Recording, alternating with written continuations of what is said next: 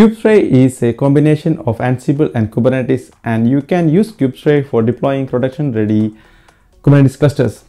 We have a detailed video on how to deploy a Kubernetes cluster using Kubespray. Please find the video from the description. This video is an extension for that installation video and we will learn how to add a new node or how to add multiple nodes uh, to the Kubernetes cluster which is deployed and managed by Kubespray. Before that, if you are watching our videos for the first time, my name is Gini and welcome to TechBeatly. If you think our videos are useful, you may please subscribe to this YouTube channel to get all the latest videos. You can manage the full lifecycle of uh, Kubernetes clusters using Kubespray and in this demo we will see how to add um, new nodes to existing Kubernetes clusters which is managed by Kubespray. For the demo, we have a running Kubernetes cluster with one master node and two worker nodes.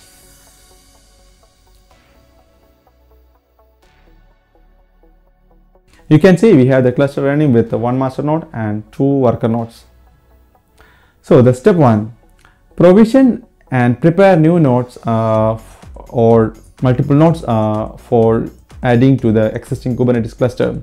So create new nodes and make sure it is available from the machine or workstation where you have your Kubernetes repository.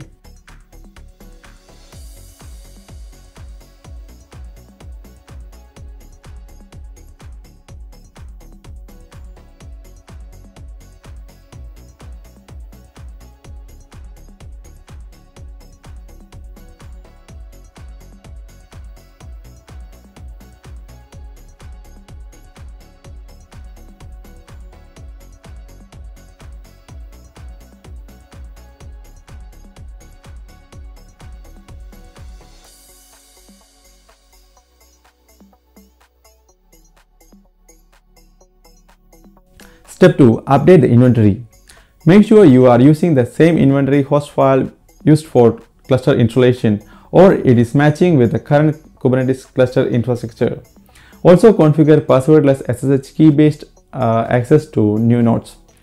Then update your inventory uh, my cluster with the new nodes information. We have a new node uh, named node 3 and we will this add node 3 information in the inventory.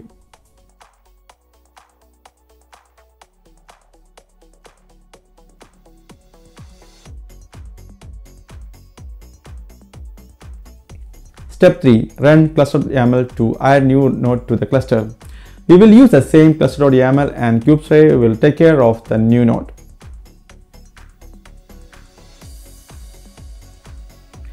Wait for the playbook to be completed. I will pause the video until it finish.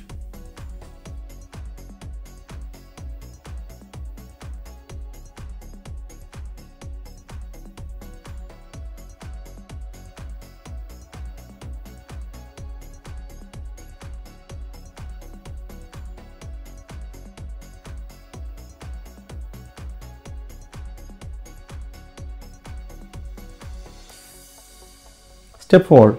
Verify newly added node in Kubernetes cluster and let's see if the nodes are added to the Kubernetes cluster.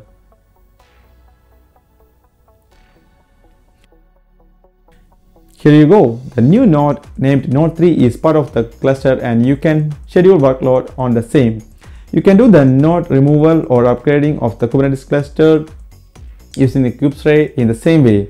You will find those videos in our channel. Now you know the ease of managing Kubernetes cluster using Kubespray. Uh, that's all for this video. Please like the video and ask in the comment box if you have any questions and dislike the video if you think the video is not good. Also consider subscribing to this YouTube channel for getting latest videos. See you next time with another video. Thank you.